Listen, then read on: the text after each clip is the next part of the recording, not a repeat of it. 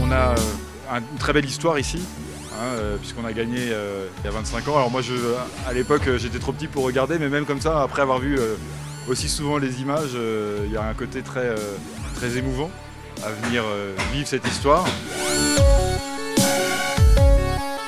On n'est pas présent avec n'importe quelle voiture. On est présent avec la 208.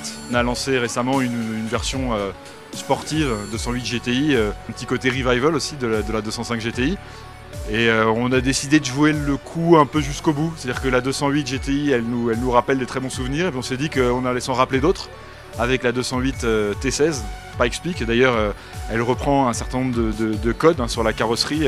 du bleu, du jaune, du rouge. Ça rappelle Peugeot Talbot Sport. Tout en étant très radicalisée, elle reprend assez fidèlement euh, le design de, la 208 euh, de série. Alors évidemment c'est plus radical, c'est plus exacerbé, mais, on retrouve bien la physionomie de cette, petite voiture. Je trouve qu'elle est particulièrement animale. Elle est vraiment très agressive, elle est, vraiment très... oui, elle est sauvage.